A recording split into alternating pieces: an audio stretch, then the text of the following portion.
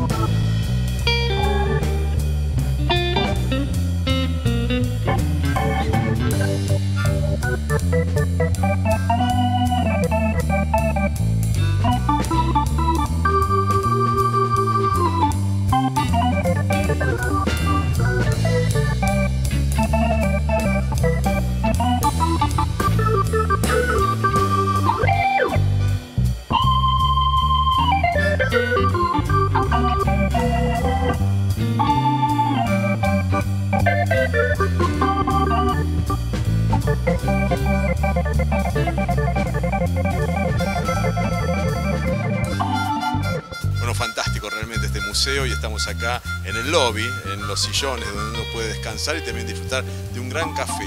Coffee Break Show te trae lo mejor del mundo del espectáculo, en este caso el bloque que impacta a todos, las mejores series de los 70 y 80 y vamos a ver un clásico, al amigo Kit. ¿eh? Estoy hablando del auto fantástico, serie que lanzó el estrellato a David Hasselhoff antes de hacer Baywatch y ustedes lo van a vivir acá en Coffee Break Show, lo mejor de los 80, el auto fantástico.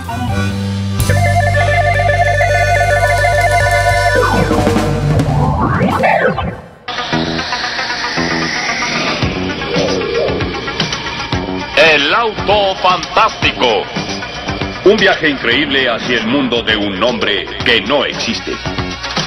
Michael Knight, un joven dedicado a defender la causa de los inocentes, los desesperados, los afligidos, en un mundo de criminales a los que hay que vencer. Actuación estelar de David Hasselhoff.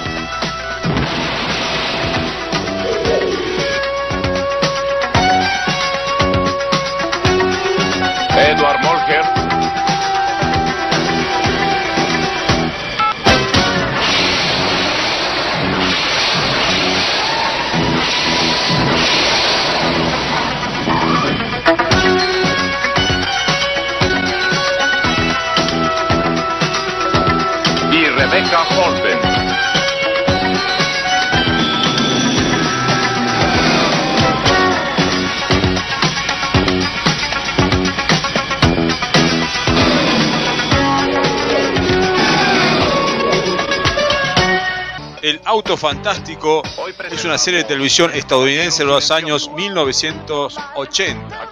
Se emitió precisamente entre 1982 y 1986. El personaje protagonista de la serie, Michael Knight, interpretado por el actor David Hasselhoff, es un defensor de los pobres y desamparados, cuyo nombre real es Michael Long y combate contra la injusticia conduciendo un prototipo de automóvil de alta tecnología. El automóvil llamado Kit incorpora una computadora central que realmente es una inteligencia artificial, autoconsciente, altamente inteligente y con capacidad de hablar e interactuar como si fuese una persona normal. El modelo de automóvil que se utilizó en la serie para encarnar a Kit era un Pontiac Firebird Trans Am V8. La serie, producida por Glenn Larson, fue un hito para los adolescentes y preadolescentes de la época y lanzó a la fama a Hasselhoff. Michael y Kit eran destinados a misiones por Devon Miles, interpretado por Edward Murray, el cual aparecía en cada capítulo mandando a Michael y a Kit a una misión. Bonnie Barstow, interpretado por Patricia McPherson, y April Curtis, interpretado por Rebecca Holden, fueron las mujeres mecánicas de Kit en la serie. Era la primera vez que una mujer se hacía cargo de un automóvil en una serie de televisión. Bonnie estuvo en la primera, tercera y cuarta temporada, mientras que en la segunda temporada estuvo ausente porque Patricia McPherson tuvo diferencia con los ejecutivos de la producción.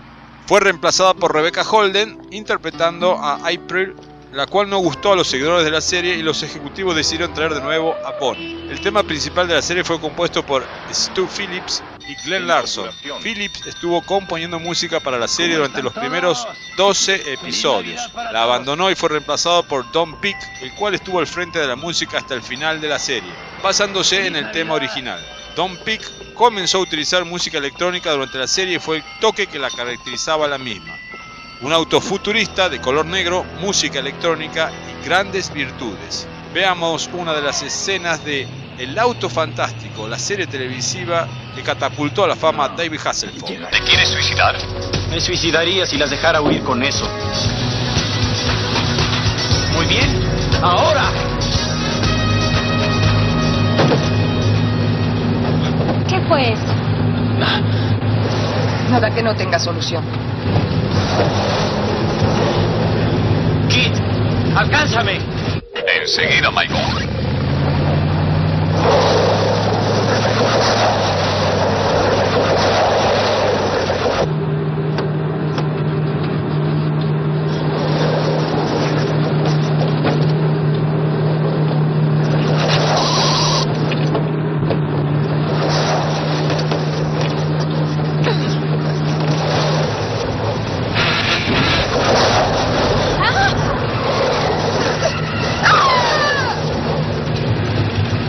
Kit, el camión. Eso déjamelo a mí, Michael. No te olvides de las balas con teflón.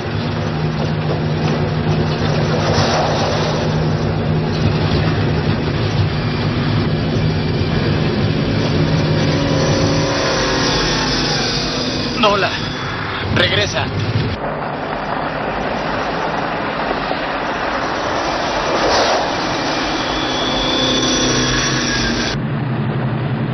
Acabaré con él.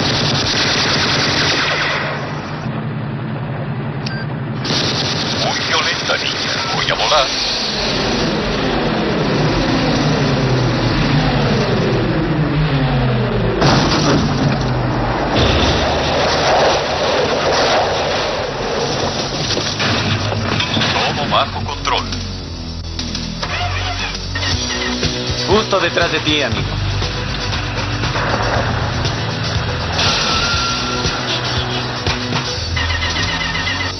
Gracias, Kit. Buen trabajo. Como siempre, Michael. Hola, Bianca. Le dije que no lograría hacerlo. Ahora, hablando de masa y velocidad.